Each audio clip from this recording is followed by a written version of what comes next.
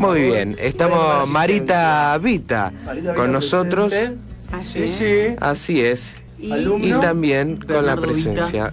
Bernardo Vita Bernardo presente Vita. también, Presente. parte del elenco. Así Parte del Mario.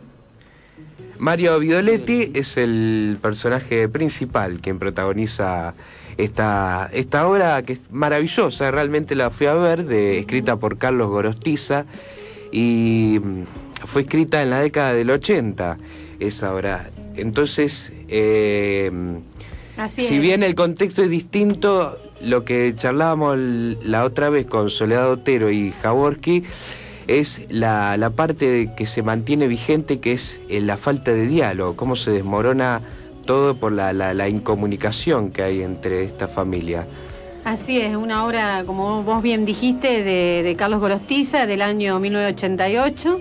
Uno de los temas es la incomunicación familiar, es un tema también muy propio del, del género que estamos haciendo, del grotesco. Este, y bueno, esta familia es una familia este, desorientada, de clase media, eh, con todos los inconvenientes propios de ese tiempo, ¿no? Eh, ya eh, es, una, es un momento histórico, eh, gobierno de Alfonsín, democracia, don- donde quizás muchos sueños se ven frustrados, ¿no? Los despidos y toda esa Este, cosa que estaba... Claro, y este, este protagonista que encarna a Mario Vidoletti en la figura de, Ama- de Amadeo Mastronardi, ya un no gran sabe... capo cómico rosarino. Así es, así es. Este, ya no sabe más qué hacer, ¿no? Con, con esta familia, qué, qué, qué, qué nuevo negocio inventar, ¿no? Y se le ocurre esto de, de, de recurrir al frac rojo para cobrar a los morosos incobrables. Claro, para él es una idea maravillosa Sí. y ahí está bueno cómo eh, el humor se desprende de ese, de ese grotesco y contanos un poco de- del perfil que interpretás eh, tu personaje sobre la obra. Sí, yo soy Elvira, soy la mujer de, de Amadeo, del personaje de Mario Vidoletti. Es una mujer, digamos, difícil de definir porque no sabemos si es una ingenua o una cómplice. Este, sí que, que vive, digamos, en un mundo donde de apariencias, ¿no? Este serie aparentar que también es tan propio del grotesco, donde, donde hay cosas que se tapan, donde hay cosas que, que, que se viven que no son así como realidad y que no es tal.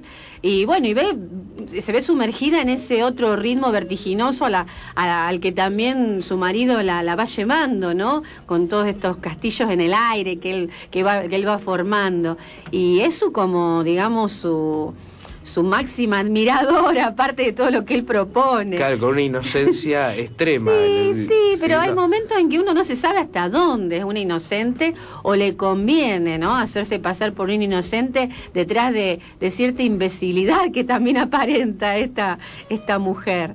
Y bueno, y en esta familia acá también tenemos a Bernardo que hace del hijo. Que de todos los personajes se puede decir que es el personaje más complejo, porque por Mm. momentos tiene una faceta, una persona divertida, fiestera, y por momentos está deprimido, eh, es rebelde con los padres. Exactamente. ¿Cómo, cómo podés de- definir o mm, interpretar tu propia figura? ¿Cómo lo definirías? Bueno, no, eh, como vos dijiste, es complejo. Este, no es un personaje que, que recurra al humor, digamos que no, no causa gracia dentro de la obra, quizás sea el personaje como más trágico ¿no?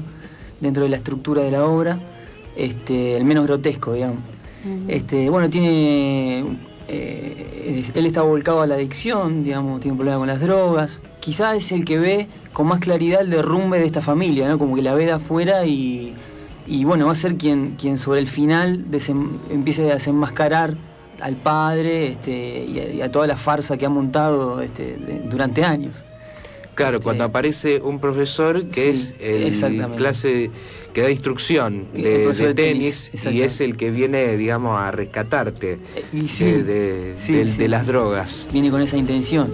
Este, que bueno, eh, es justamente gracias a, la intervención de este profesor que es, eh, la- digamos, Julito, que es el nombre de mi personaje, termina estallando y, y diciendo lo que tiene guardado. Este, eh, dice las verdades que, que todos los espectadores ven durante toda la obra, eh, él las tira sobre el final, digamos.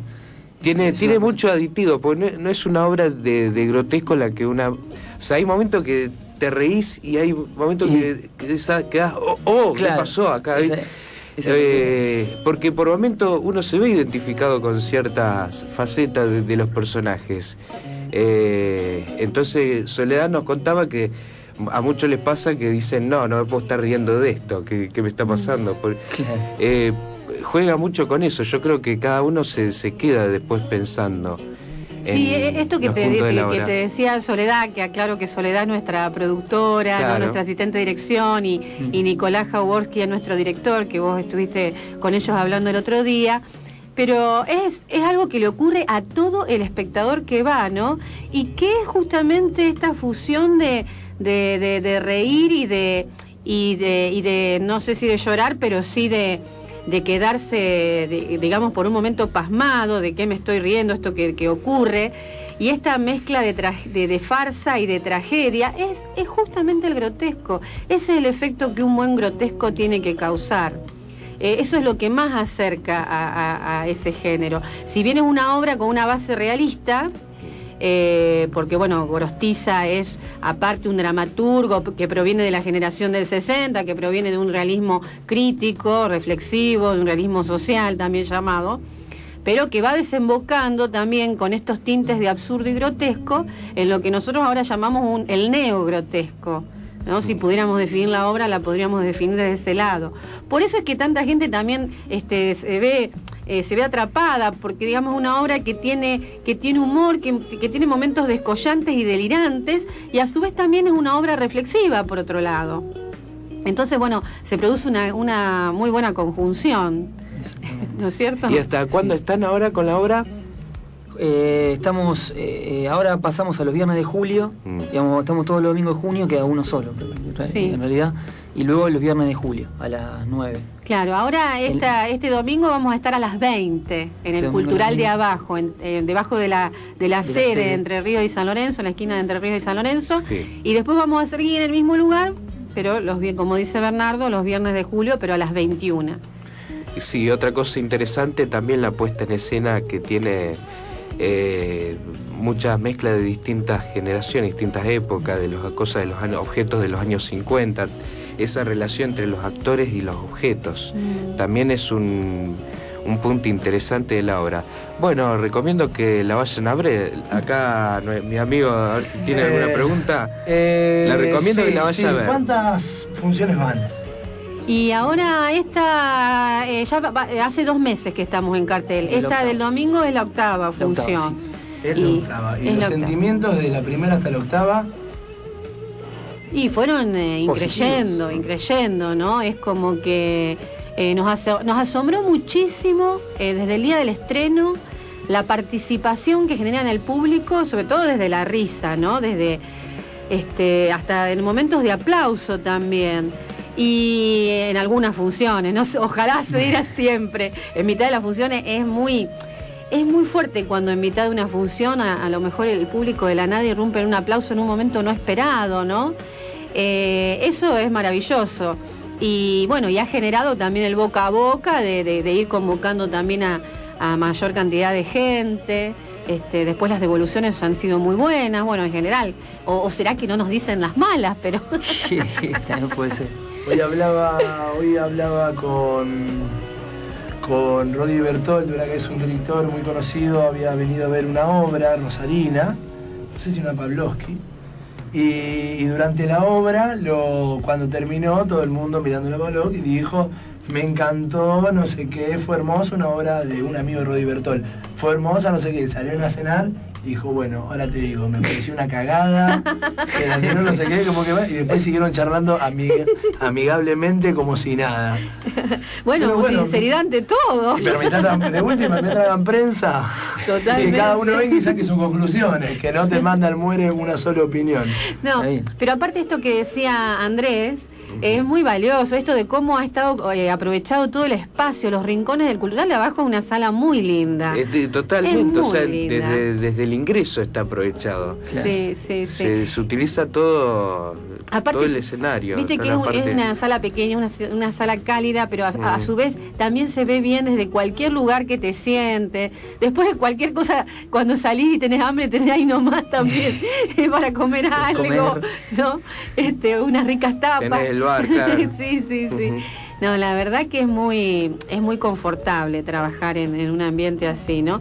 Y aparte, así como ves, bueno, Bernardo, bueno, los este, quienes nos escuchan no, no saben, pero Bernardo es un chico muy joven, digamos, somos de distintas generaciones. Y esto es lo interesante del elenco también, ¿no? Que hay un encuentro generacional muy, muy importante, que quizás a veces uno eh, no eh, uno a veces se rehúsa a trabajar con gente que no sea par, ¿no? En, en- en lo generacional. Y lo rico que es cuando se da el cruce, no solo de, de- de edades, sino también de distintas formaciones, ¿no? Sí, Porque hay formación, experiencia, vivencias. Cada uno fue educado quizás de una manera diferente y se encuentra en ese punto y creo que ahí es donde más se puede llegar, donde surgen muchas cosas para nutrir, para nutrir un proyecto. Además, nombren a sus compañeros. Porque Sí, claro. Eh, Flavio Soso, bueno, aparte de Marita Vita y yo que soy Bernardo Vita, Flavio Soso, Mario Videoletti, Evelyn Rita, Aldo Villagra, el director que es Nicolás Jaworski y Soledad Otero en la asistencia asistente de la producción. Exactamente. Ahí Bueno, está el equipo.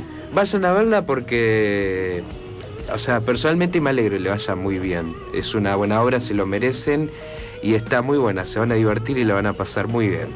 Bueno, muchas gracias. Recordamos el lugar. eh, están los los Eh, domingos. Ahora domingo de junio, último domingo Último de junio. domingo de junio en el cultural De abajo. cultural de abajo. A las 20. Y después Muy los bien. viernes. Los viernes. Los viernes de julio 21. a las 21, también en el Cultural de Abajo. Muchísimas gracias para Bernardo y Marita. Un aplauso muy grande para ellos. Un Y aplauso. Con ojo con el cordón. Un show.